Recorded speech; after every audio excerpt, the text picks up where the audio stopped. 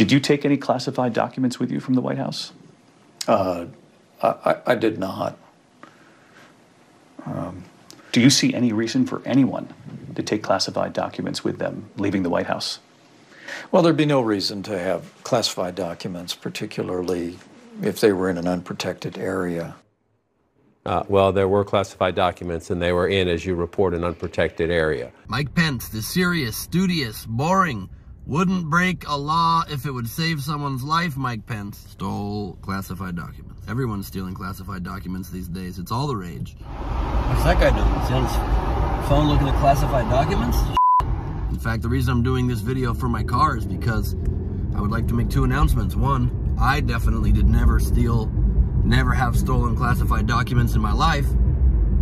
I'd like to immediately rescind that and say I did steal many classified documents and I'm right now on the run because the FBI just stormed my house. They're currently ransacking all the drawers and I'm just freaked out because they're going to be finding so many classified documents that I definitely never took, but that I also did take and that I promise I will return, but also they're forcibly checking my office because uh, some of them are stuffed in drawers, underwear drawers, my sex toy drawer has got so many classified documents and classified sex toys I shouldn't have announced right now. I don't have a sex toy drawer. Why would I even say that? I don't have classified documents either. I'd like to rescind both statements and then reinstate them. Hey, I just wanted to know, why did you take all those documents? Why'd you take the classified documents? Oh, he just, you were gonna drive off. Oh, I see. It's like that now, huh? Bet she took some too. Basket of classified documents.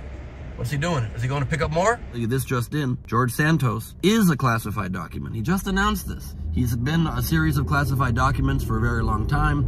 That's on him. That's on him. We knew it.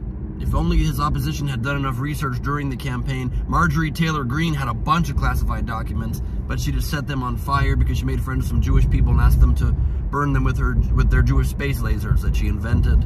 So that's that's that's another uh, thing to consider. Jim Jordan used classified documents to cover his eyes during the gym scandal that he had.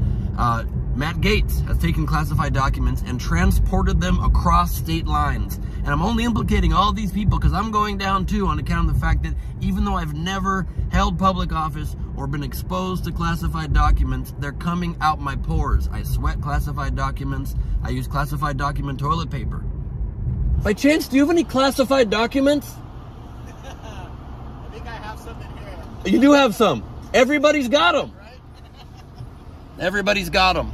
If you don't have classified documents in your own home yourself, are you even living? Are you even cool? Are you even relevant? Try to get yourself some classified documents so we can match, so all of you watching this can match the clownish nature of everybody in our government who is hoarding classified documents every chance they get. We're governed by a bunch of idiots. And I think I've given up on trying to defeat them or trying to make any clear points about how wrong and stupid they are. And I'm just joining them.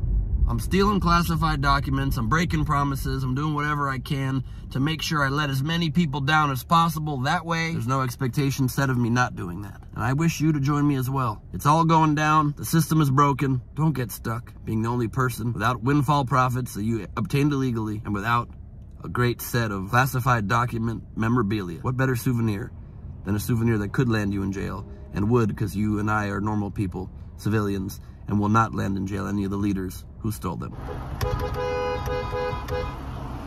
Sir, just checking to see if you got any classified documents. Hello? I don't think he does. I'm Ben Gleib for Rebel HQ. Check out my classified documents. They're everywhere. Go to your local library. Just say, can I see Gleib's documents? You'll get them. All right, thanks. Bye.